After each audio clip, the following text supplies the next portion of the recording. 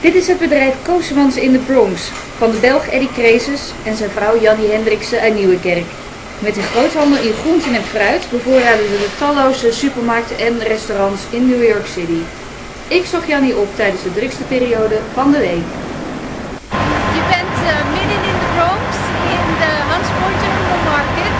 Het is maandagavond en uh, aanvoeravond, eigenlijk op maandagmiddag eigenlijk, aanvoer van alle groenten en fruit voor de stad New York en omgeving.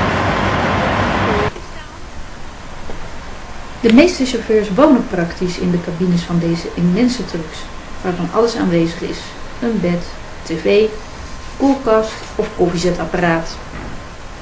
Uh, de meeste grote trucks die jullie op dit moment zien komen van uh, Florida en van Californië.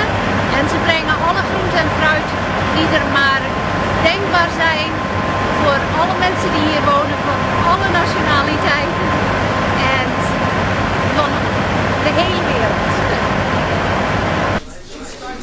Als de voorraden zijn gearriveerd, begint de telefoon van de verkopers bij Kozemans vrijwel direct te rinkelen. Klanten halen de waren op met kleinere vrachtwagens die geschikt zijn voor straten en wegen in de stad. Voor meer informatie over dit bedrijf surf naar www.kozemans.com.